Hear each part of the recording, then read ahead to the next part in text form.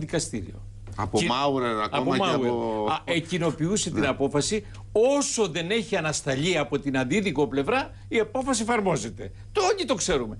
Το 20ήμερο που έχουν ήδη κοινοποιήσει έπρεπε το κράτος να έχει συμμορφωθεί. Προσδοκώντας όμως ότι στις 10 Ιουνίου σας τα έχει εξηγήσει ο κύριος Καρούτσος, ο νομικός τους παραστάτης.